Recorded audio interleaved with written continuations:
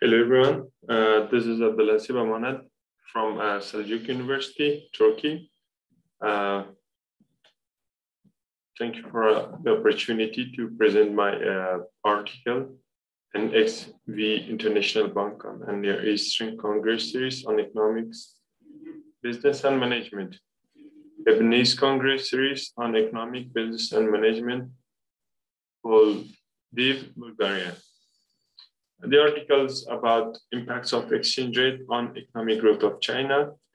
Authors, uh, Associate Professor Dr. Erdal Arslan, Assistant Professor Dr. Ali Bora, and uh, Abdul Hasib Amanat, which is me. Uh, presentation outlined, uh, the article is uh, made of uh, different parts, which are introduction, economic overview of China, literature review, exchange rate regimes and definitions, research method, findings and conclusion. Introduction. Uh, exchange rate is, uh, exchange rate of a currency is uh, uh the, the, uh, the power of uh, buying one currency in term of other currency or the price of one currency and the term of other currency. Uh, there are seven exchange rate regimes, and uh, every one of them has its own pros and cons. It is not an easy job to find uh, the most suitable and profitable exchange rate system for a country because the economy is highly affected with the exchange rate system uh, from different aspects like export, import, and economic growth. Exchange rate is a vital economic factor, and economists are interested in the effects of exchange rate on the imports, exports, and economic growth, according to the articles mentioned. Uh, economic overview of China. Actually, the uh, People Republic of China is the largest economy, largest uh, country, uh, largest having largest exchange reserve, and largest exporter in the world, with uh, 14 uh, billion dollar gross domestic product and 1.4 uh, billion population. An unemployment rate is 3.62%, an inflation rate of 2.9%, and exchange rate of RMB uh, $6.91. A current account balance of 141 billion USD and trade balance of 165 billion USD. Export 2.5 trillion USD, import 2.08 trillion USD for the year 2019. The economy of China has experienced amazing economic growth in the last few decades that has captured the title of the second largest economy in the world. In 1978, when China launched the economic reform program, the country ranked ninth in nominal GDP, and 35 years later, it jumped to second biggest economy in the world. As we can see, the GDP of uh, China from uh, 1982 to 2018, to the end of 2018, uh, it has uh, uh, gradually been increasing. Uh, it's increasing so fast. As we can see, the imports and export graph of China, both of them are increasing. Uh, Although in 2005 to 2009, it was like in the peak. And after that, it has uh, been decreasing a little bit. But one thing to remember that exports are always uh, higher than imports, as you can see in the graph. Um, as we uh, already saw, the export is increasing, the GDP is increasing, but as we can see right now, the official exchange rate of China is decreasing um, after the year 2000 and uh, 2005, it's decreasing. Uh, this is something interesting. Uh, while uh, other countries, when the economic growth is increasing, uh, it is increasing and the exports are increasing, the inflow of uh, foreign um, currency made the make the domestic currency to appreciate. But in this case, as we see, uh, in China, the exchange rate of the RMB is decreasing or it's very uh, stable uh, in the last years. Uh, so our concern was that, uh, as we can see, the Trump administration or the United States government has always been asking China for appreciation of their currency. as we can see here, the Trump administration labeled China a currency manipulator after China allowed the value of its currency to fall again. So um, is it really um, true that uh, China is uh, falling its currency to uh, increase its economic growth or not? So in this article, we are um, investigating that uh, to see whether uh, with the increase of the, uh, with the decrease or devaluation of RMB's value, is the China gaining economic growth or not? uh, literature review. As we can see, there are different literature uh, on this article. Um, um, some are uh, expressing that China need to increase its value per economic, uh, its uh, RMB's uh, value to gain economic growth, and some are expressing that the China government should decrease RMB's um, devaluate RMB's exchange rate to gain economic growth.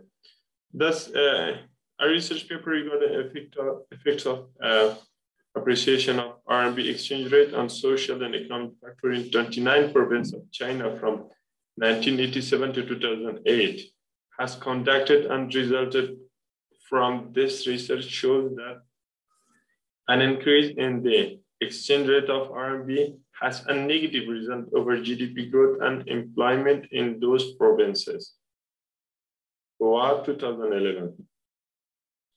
China export increased by 22% uh, in 2005 and 2008. Its current account surplus surpassed 9% uh, Uh, of GDP in 2008 and 11% of GDP in 2007. Its economic growth as 10% more than every year between 2004 and 2007. Quite a few economists think that China balance of payment is in this equilibrium and China must let RMB exchange rate appreciated. On the other hand, the Chinese government has rejected suggestions for the quicker raise of RMB. Quicker rise of RMB exchange rate due to unfavorable effects of RMB appreciation on the uh, reduction of labor-intensive exports, and China uh, will lead to the uh, running of industries across China. The, um, the RMB exchange rate um, increase will affect negatively on exports and um, export uh, labor-intensive export products. Mostly, this is the argument of the Chinese government. On the other hand, uh, according to a study by Tang 2008, which have studied impact of China exchange rate and economic growth in China using the CVR, CVAR model, resulted in contrast to many other pieces of research that China has not benefited from the from the exchange rate of RMB and there is no direct relationship between exchange rate and economic growth of China in the long term research method. In this article, we aim to find whether uh, the fall of uh, fall or rise of RMB's exchange rate impact the economic growth of China uh, or not for the period of 1982 to 2018. And analyzed data regarding this uh, research uh, are taken from the World Bank, Data Bank, development indicators, and variables such as GDP per capita, income, as a dependent variable and foreign direct investment, export, import, uh, and exchange rate are uh, considered as uh, independent variables. Augmented Dickey-Fuller test, uh, ARDL model, uh, autoregressive distributed lag model test, and vector error regression model uh, are applied for finding relationship among these variables. Uh, this is uh, our model, as we can see. Uh, EG is economic growth, which is GDP per capita income. FDI is foreign direct investment, exchange rate, net, ex, net export minus import, which uh, and the error term, whereas B, B0, B1, B2, B3, B4 are respective parameters. this is our um, yeah, um, test that we have done and the, the findings out of our test. Uh, augmented Dickey-Fuller uh, unit test has conducted, and we shows that our uh, variables are stationary at the level. Uh, I'm sorry, uh, they're stationary at the first difference. var lag length test result based on var uh, order selection criteria two. Lag is considered an optimal lag, which means uh, second uh, lag is optimal lag for our uh, um, tests. Uh, after that, we have um, performed ARDL bound test. Value of S, uh, as we can see in the uh, result of the test, uh, if statistic value is uh, 10, which is higher than uh, lower bound and higher bound, that means that our result is statistically significant and robust. We can continue to our ne next test. We have um, performed the ARDL cointegrating along the run model test. ARDL cointegrating equation is uh, below, and uh, as we can see in the result, according to probability value, and uh the result of the test, it is um, statistically significant, and we can see that uh, there are relationships in long and short run of um, short run of um, the uh, result of the test. This is the short run result. In short run, as you can see, the uh, FDI has a positive 1.6% uh, impact on GDP per capita income. Exchange rate has negative 1.32% uh, effect. Uh, import has negative uh, 0.0 31% effect and export has positive 0.16% uh, effect. Uh, furthermore, uh, histogram normalities is uh, shown that our uh, result is significant because the value of the probability is uh, more than 0.5 and the value of this means that our test is significant and robust.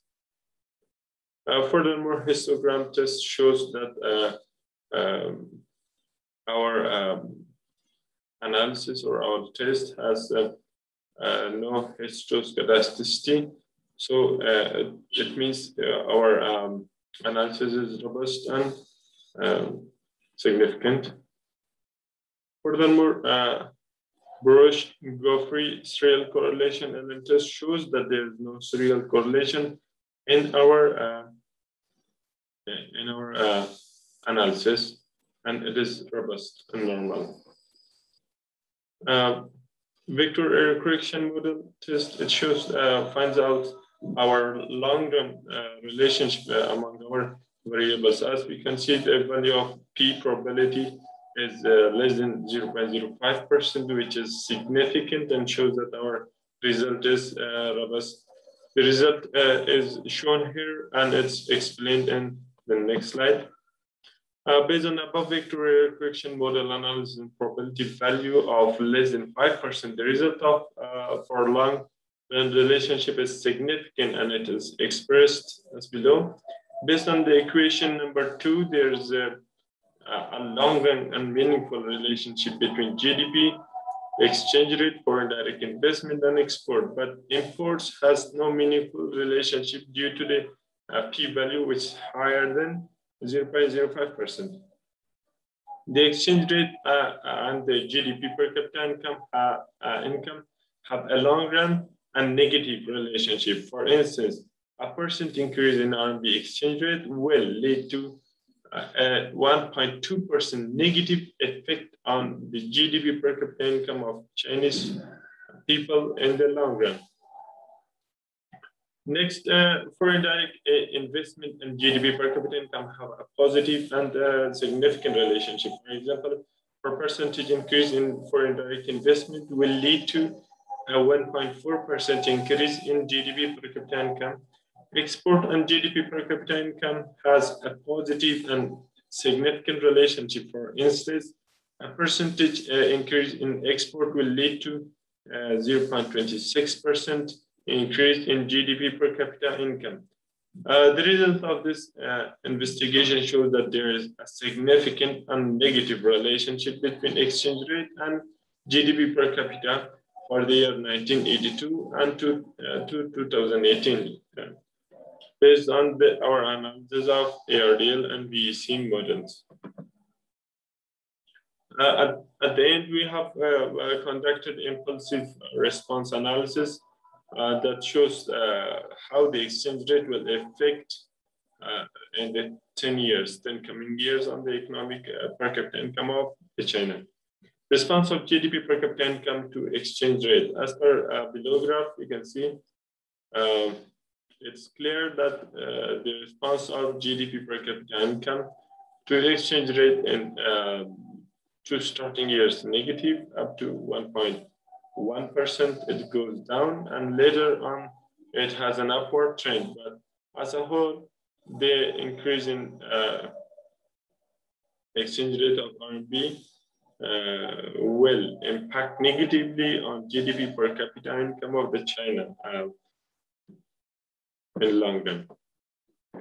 Thanks so much for the opportunity and uh, for your time. Uh, my uh, presentation is uh, come to the end.